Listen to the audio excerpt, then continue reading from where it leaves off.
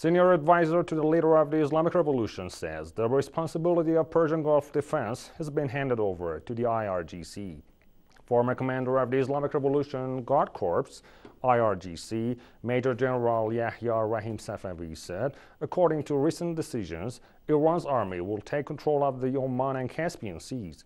The former top military commander reiterated that IRGC missiles can hit any target across the width of the Persian Gulf and that all gunboats are within the range. The senior official gave assurance that the Iranian armed forces, with advanced defense equipment, including missile resources and land and naval forces, can control the Strait of Hormuz. Playing down Israel's military threats and ability to wage war against Iran, Safavi said the Israeli regime lacks necessary political, economic, and social capabilities to enter a big war in the region.